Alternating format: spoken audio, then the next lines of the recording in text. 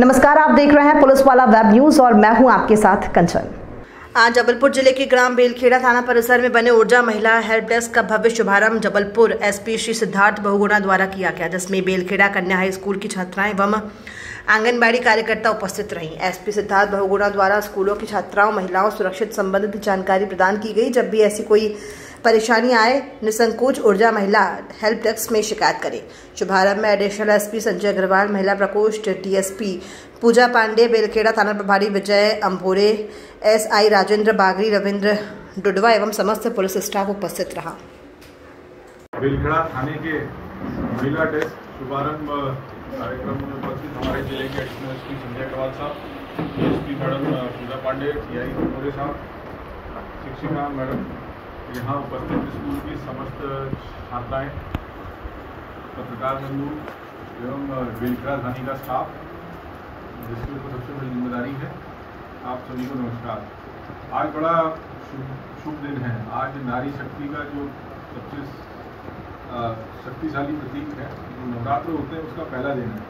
ठीक है इसके दिन, आज ये जो बहुत ही अच्छे दिन इसका शुभारंभ हो रहा है महिला डेस्क है ठीक है। तो आप बिल्कुल अपने को सशक्त फील करें कि आज ये जो मेला डेस्क है, ये आपके लिए हमेशा तत्पर होकर कार्य करेंगे ठीक है? ये जैसे कि एडिशनल साहब ने बताया, आपको बहुत क्लियर कि पहले क्या होता था, आप जब थाने जाते थे तो जैसे बच्चे होकर मेला हो रहा है कोई भी थाने जाने में अपने को एक हिचक सी उठती थी कि थाने में पता नहीं किस तरह के पुलिसकर्मी होंगे, है ना? कि हमको कोई बंद को नहीं कर देंगे, हमारी बात सुनी जाएगी, नहीं जाएगी, ये एक हम सबकी एक हंसियाँ होती है, जो कि बचपन से या तो मूवी देख ली, या किसी ने कुछ बोल दिया, अखबार में पढ़ लिया, उस हिसाब से हमारी धारणाएँ बन जाती हैं तो इसी ये आपके लिए खुशनुमा माहौल में एक अच्छे से अलग से एक इन्वायरमेंट में इन्वायरमेंट से वातावरण में, आपकी समस्याएँ को सुना जाए, इसलिए राज्य शासन ने माननीय मुख्यमंत्री महोदय, और हमारे पुलिस मुख्यालय के जो महिला अपराध शाखा है, हमारे डी साहब और गृहमंत्री जी ने, सबने ये एक अच्छी सी योजना एक है, महिला डेस्क की, इसका शुभारंभ किया है।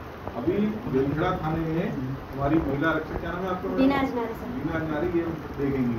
इनके साथ और भी कोई महिला आरक्षक रहे? तो सब मिल करके आपकी समस्याएँ भी सुनेंगी। इनको आप अपना मित्र माने। क्या माने? मित्र हैं। अब आपको ये नहीं होना चाहिए कि हम थाने जाएँगे हमारे साथ क्या होगा? हमसे कोई हमसे बात होगी नहीं होगी हमारी सुनवाई होगी कि नहीं होगी हमको कोई भगा तो नहीं दिया ऐसा बिल्कुल नहीं होगा।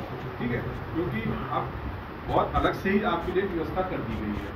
जैसा अभी अग्रवाल साहब बता रहे थे, दस नब्बे हो गया, ठीक है, दस अंठानवे चाइल्ड हेल्पलाइन है, उसमें भी आप कॉल कर सकते हैं। एक, अब तो डायल हंड्रेड जो गाड़ी है, जो आप उसको फ़ोन करते हैं, वो हमारे हंड्रेड का एक कॉल सेंटर समझते हैं? है ना? वहाँ एक एक एक ऑफ़िस होता है अलग से, जहाँ पूरे राज्य की कॉल जाती है उसकी। वहाँ पे एक कंट्रोल रूम होता है उसका, वहाँ से कॉल जाती है, वहाँ से भी संबंधित थाने को आता है मैसेज मेरे पास भी आता है उसका मैसेज ये पुराना ने कॉल किया है।